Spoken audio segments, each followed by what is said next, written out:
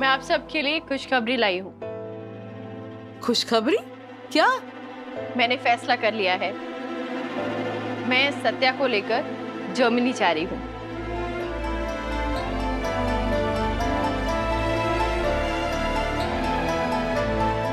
Germany? जी Germany. लेकिन क्यों? जर्मनी में क्या है? सही? हम जर्मनी क्यों जा रहे हैं? तुमने डॉक्टर श्मिट्स का नाम सुना है? वर्ल्ड फ़ेमस न्यूरोलॉजिस्ट वो तुम्हारा इलाज करने के लिए मान गए हैं। और मुझे पूरा यकीन है वो तुम्हारा इलाज करेंगे तुम ज़रूर ठीक हो जाओगे। इसीलिए हम पहले मुंबई जाएँगे परसों और वहाँ से उसके अगले दिन सुबह हमारी बर्लिन की फ़्लाइट है। मैंने तुम्हारी सभी की और मेरी फ़्लाइट टिकट्स बुक कर दी हैं।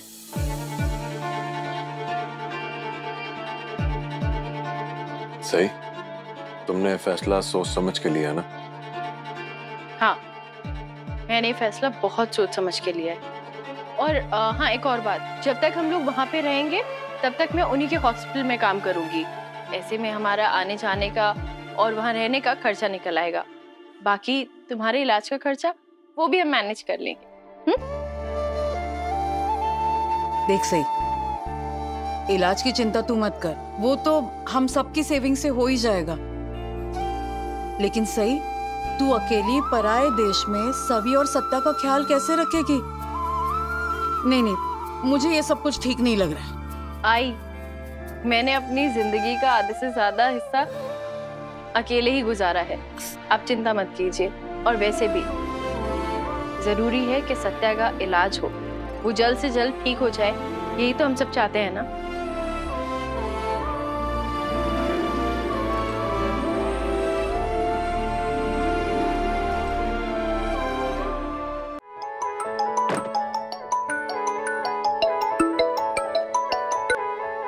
हाँ विराट मैं बस निकल ही रही थी जल्दी पहुँच जाऊँगी सभी को लेने हाँ? नहीं इसीलिए फ़ोन किया था कि उसको पिक करने की ज़रूरत नहीं है। क्यों? अच्छा तुम उसे छोड़ने आ रहे हो? नहीं सभी यहीं रहने वाली है। वहाँ रहने वाली है? मेरी काकू से बात हुई थी विराट। मैंने कहा था मैं रात को लेने आऊँगी सभी को। अभी उसकी पैकिंग भी बची हुई है। पैकिंग की कोई ज़रूरत नहीं सही। वो जर्मनी ही नहीं जा रही है। जर्मनी नहीं जाएगी क्या? क्या मतलब है? अरे सही जब वो जाना नहीं चाहती तो क्यों फोर्स कर रही हो उसे?